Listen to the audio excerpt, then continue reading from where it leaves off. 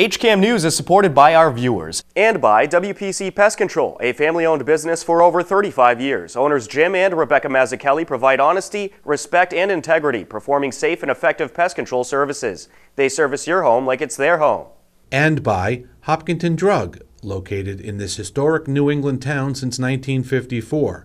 They are a multifaceted store dedicated to providing clients with an array of healthcare options.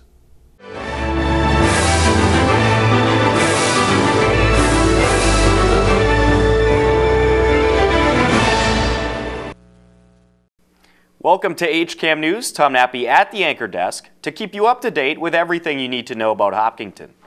On this edition of HCAM News, John and his son Jonathan Hueber of Crosspoint Associates sat down with HCAM News to talk about the purchase of the former Colellas property and the CVS lease of space in the building. Center School had patriotic pride as they celebrated Flag Day, and lifelong resident and retired firefighter Bill Hamilton presented Hopkinton history and ice cream at the Senior Center as part of the town's 300th anniversary celebrations. But first, CVS Pharmacy coming to the former Colellas Plaza was the big topic of discussion at the most recent Board of Selectmen meeting. Dozens took to the streets prior to the Board of Selectmen meeting to protest against a CVS pharmacy coming in to the space of the former Colellas CVS, lease space in the former Colellas from owners Waltham-based Crosspoint Associates. Ever since, there has been many residents that are not happy about the move. We do all our shoppings at um, at Hopkinton Drugs, and we hate to see them close. And I know if CVS comes here, you know they're gonna have to close because they are, you know, they can, you know, drive the prices down, and Hopkinton Drug cannot compete. They will go out. So I hate to see that happen. It's a small town and it's a small community, and we don't want a CVS here. We just want Hopkinton Drug, and that is it. I, I actually uh, planted a couple of these signs at Hopkinton State Park. Now, don't, as citizens as, as, and taxpayers, do we not have a right to plant a sign on state property? It was removed. That's not right. At the meeting, residents got the chance to discuss the CVS with selectmen. Board of Selectmen, I thought that um, you had more of an interest other than just, oh, we're handed this and as long as it follows this, and I don't know what this theme is, but it seems to me that you're elected to represent us, and right now, if you look at the feeling of the town, you are not, this, we aren't being represented. even if we had wanted to bring something else into that, into that location, we don't have the right to just do it. I mean, this is a private transaction between the seller and the buyer. It's, it's, there's no, we can't inject ourselves into this unless they need something from us, which in this case they didn't. And I can guarantee that if everybody who says that from this point forward, they're only going to shop at Hopkinton Drug, only shops at Hopkinton Drug, they don't have any worry if CVS ends up opening its doors. They'll have plenty of business to keep them in business, and, you know, there will be no worries from that, from that point. Selectman Brian Herr felt the CVS lease was very sneaky and did not agree with the way that it was done. Uh, But I had a quarrel or an issue with the two words that you used there, unusual and typical. So I've had the uh, pleasure of serving the town for 14 years in various elected and appointed positions. And in my 14 years on the planning board, zoning advisory committee, board of selectmen, personnel committee, and my wife could probably remember a couple others, I have never seen a business come to town in the cover of darkness or under the cover of darkness and try and ram something down our throats as this current situation is playing out. And I'm very interested in exploring all those avenues you just described, including acquiring the land by whatever means necessary. Town counsel was also on hand to discuss the legality of the CVS. uh, an application needs to be forthcoming if, if they in fact have changed any aspect of their operation. Uh, I assume when. the- the Including fact that- land ownership? No, land ownership is not so much of an issue. The, if it, because you're approving the business and you're approving the manager of the business when you issue the license, not, um, they have to um, uh, have the right to operate the property, but they don't need to own it. So, um, uh, I'm not aware that the, the business itself has changed or that the, um, uh, or, or that the manager has changed. If it has, that needs to be approved as well. But if the physical location within the building has changed, that's something that, that needs to come before you first. A few residents argued that CVS is more of a health institution rather than a retail store. Therefore, it would be a zoning violation for a CVS to open in the 61 Main Street Plaza. There are several compelling arguments, I feel, from their own website that would indicate that they are, according to the law, regardless of why it was constructed, that would say they are indeed a health services facility. It's not a stretch, it's their words, it's kind of all over the place. Really sure on this, that there's a 2012 bylaw excluding health services um, in the downtown facility, a business with health, health services facility. Is that accurate? health services facility is allowed in the downtown district. Uh, per Elaine Lazarus, the land use planning and permitting director, a health services facility is not allowed by right nor by special permit in the downtown business district. So I would really second raising the board to really look into that because I can tell you it's my primary use of CVS in my daughter's history and also as a critical care nurse that CVS is a healthcare facility and that's the primary use of it. It's great that my mom stuffs my stockings with other things she can get from CVS, but its primary use is really healthcare facilities. So I think that by law, if that's what we're looking at in policy and not where we stand personally by our values, community and family, which is what we want to actually strive to present here, then I would challenge you to look at that. And Brian, thank you for having the same courage that my daughter has. Hopkinton drug owner Dennis Cates was on hand to thank supporters. Uh, Dennis Cates, Hopkinton Drug, 22 Kruger Road, uh, General Manager of the Hopkinton Drug. Uh, This is an opportunity for us to thank the community for coming out and being supportive of us. Um, I got to tell you, it's very humbling. Uh, I've never dreamed of this, ever. Um, You've definitely made a a change in my life. I thank you so very much. We are not going anywhere. We are going to try very hard. We're one store. We're not 9,000. We're just one store. It's going to be a heck of a challenge. But we're going to, we're going to stand up and we're going to take that challenge as best we know how. Thank you all.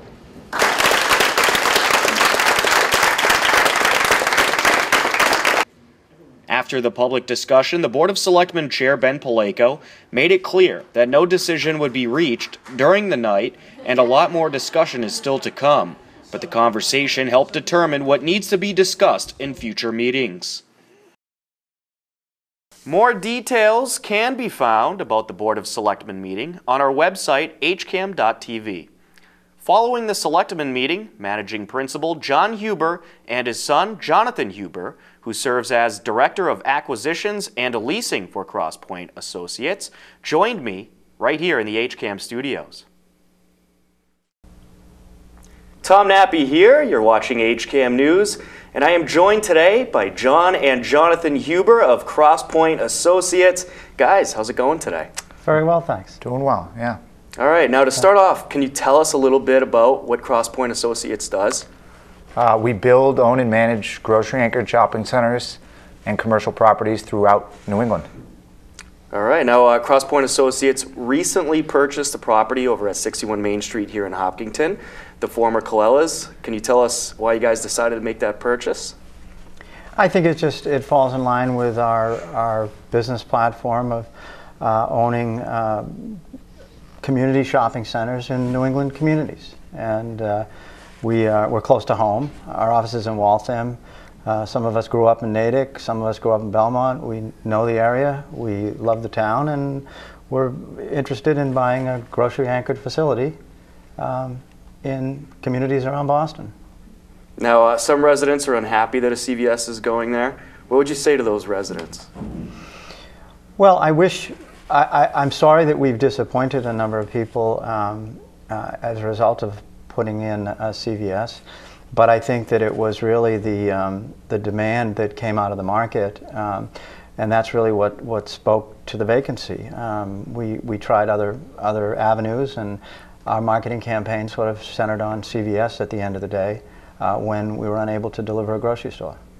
Now, you mentioned in an open letter that you sent to the community that uh, you reached out to a number of grocery stores, but they weren't interested in the former Colella's Plaza. Why do you think that is after Colella's was successful there for so long? Well, Colella's was successful there for so long because there was no other competition in the market. As soon as Price Chopper opened, Colella's saw a significant decline in their sales year over year. Uh, when we brought those sales numbers to other grocery operators, uh, we thought there may be an opportunity for a different format store that had different offerings um, that would do well in this market. And unfortunately, that was not the case. Did CVS reach out to Crosspoint Associates about this, or did Crosspoint Associates reach out to CVS? We're in a business that we're in touch with tenants all the time, eh, regularly. It's almost difficult to say who went to whom. Uh, we have CVS as a tenant in other facilities. Um, we have uh, regular meetings with the ICSC, which is the International Council of Shopping Centers. We're in contact with brokers and representatives of CVS on a regular basis, and we're always in constant communication with grocery stores as well. So we feel as though you know we have a, a good, fluid conversation with you know all levels of tenants in the retail business, um, so that uh, you know we try and get the, get any vacancy we have in our portfolio out to the market on a very aggressive basis to all types of tenants. And uh, essentially, uh, CVS expressed the strong. Actually, their interest was very late in the process, um, but uh, it was it was a welcome interest because we thought it was a good utilization for uh, for the building and for the site. Some residents are worried that this could put Hopkinton Drug out of business. Um, was that a consideration in, in this process when, when CVS came to Crosspoint Associates? I don't think there's that we have ever as a, as a company, nor am I aware that CVS has ever as a company had a mission to put other businesses out of business. I just don't think that's good business. I think that we are we do business in many many New England towns and basically, we've seen independents thrive. Uh, and we've seen some of the national companies not do as well because they don't know the market as well. They're not as, they're not as accustomed to doing business in a small market. Uh, so I would say that uh, that is never anyone's mission. Uh, good business, uh, everyone should be able to do well. They do. CVS does something that's different than Hopkinton Drug. Hopkinton Drug has its expertise uh, which CVS doesn't have. So we would expect both to do well. Now, during this process, did CVS mention the lawsuit with Hopkinton Drug from 2014? We're really not familiar with, uh, and it's really, we do business with the retail pharmacy um, division, and that's really the real estate division. Um, so we really don't know anything about the, the, the other uh, corporations that, you know, are under the umbrella. Was CVS a last resort to this location? Was there any other type of business or scenario that could have played out? Uh, it was really grocery stores that we first went to. Uh, there were a number that initially had interest, but after doing, uh, you know, uh, market intelligence, came back to us and said no. And CVS was really one of the last people that came to us. Now, has Crosspoint Associates faced this much controversy before on a business purchase? Is this the most controversial purchase that Crosspoint Associates has faced? Well, I th- it's it's very unusual. Uh, I think that's what I, I would have to say, is that um, we, as I said, we do business in a lot of New England communities. Um, I think we're very well received in the New England communities where we do business. Um, but I think this is unusual because um, we're really we're, we're really occupying a building with a use that's allowed by right under the zoning bylaws. And we're following the guidelines precisely. And uh, we're making very, we're only making interior changes to the building. So I've really never been in a situation where where a community um, has um, found fault for following a bylaw. And uh, that is, um, you know, that's the unusual part of it. So I'm not going to say that we haven't been challenged in other communities. I'm going to say that we've never been challenged for a basic property right. Right. Now, uh, lastly, um, you mentioned many reasons uh, why you were attracted to Hopkinton uh, to purchase a, a business here. C can you talk about if, with all this controversy, you'll be looking at uh, perhaps purchasing other properties in Hopkinton? I mean, as we said, we, we purchase properties throughout New England. If uh, the opportunity presents itself and we think that it's justified, then we certainly would be open to the opportunity. All right, terrific. I, guess I, would say that you know, given uh, that that we do business in communities like Hopkinton, um, and one of the things we really try and do is be a good neighbor, and involve ourselves in the community it's not only Crosspoint, but we expect CVS would involve themselves in the community as well. And I think that we have opportunities to be uh, engaged in a number of ways. We've talked at length uh, with uh, Colellas about what they've done in the community over the years and what things the town expects and what things we can be helpful with, whether it's uh, the Boy Scouts or the Girl Scouts or some of the opportunities to be helpful to the, the to the uh, women who run the, the hot dog stand. You know, they need parking. They have no parking for their facility. Um, so we've really just getting started in the process to figure out how we become a, a good neighbor. Um, we always join the Chamber of Commerce when we, when we uh, join a community. So uh, we're looking forward to that. We're sorry that we've disappointed people, but we hope uh, things can be turned around. All right, certainly. Well, thanks for taking the time to join us here on HCAM News, guys. Thanks for having us, Tom. Uh, Jonathan, thanks for coming in. Pleasure. John, thanks Thank for coming you. in. And uh, a lot more ahead coming up on HCAM News. Stay tuned. HCAM News is supported by our viewers and by Webster First Federal Credit Union, providing financial products with attentive customer service to the local families and businesses of Hopkinton. Visit us at websterfirst.com and by Golden Pond Assisted Living, honoring resident choice, dignity, and independence. Our health and wellness focus keeps residents active. Golden Pond, state of the art senior housing and healthcare services.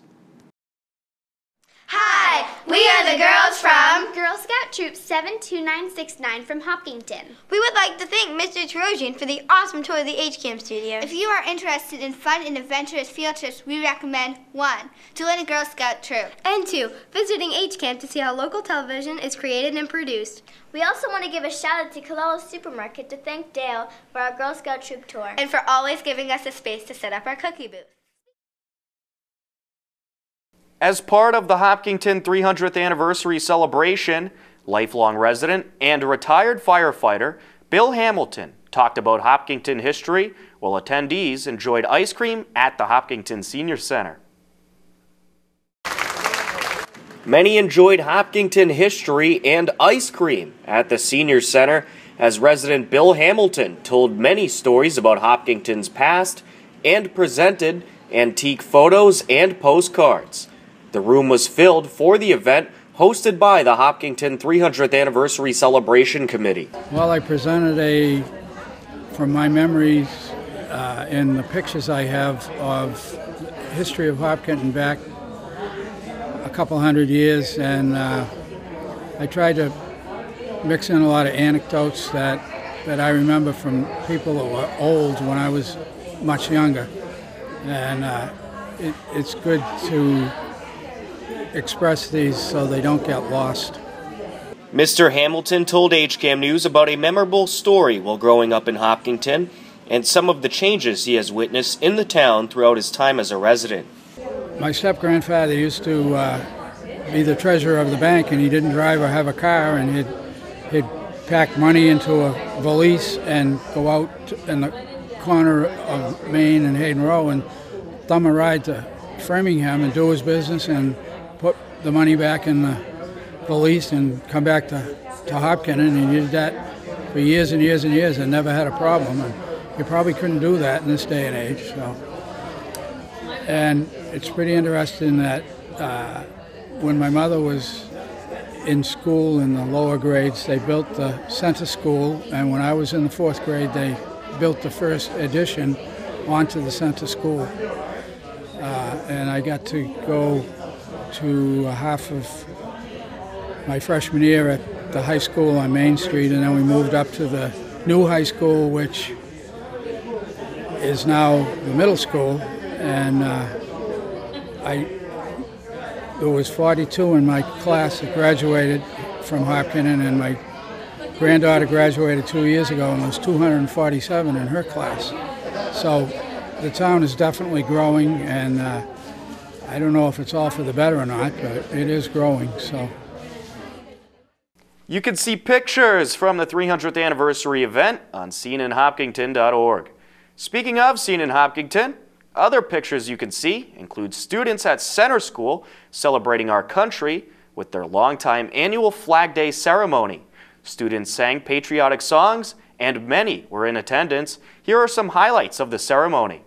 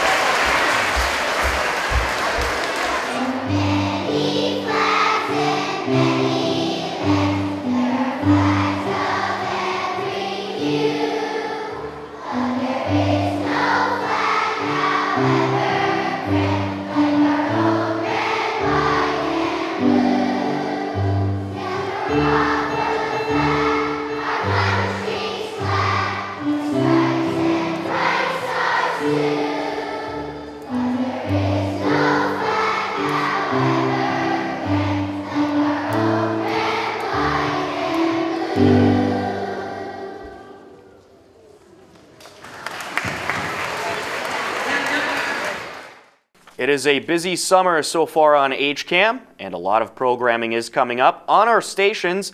Here's our promotions coordinator, Courtney, to tell you all about it with our HCAM Insider. Hello, everyone, and welcome to the latest edition of the HCAM Insider.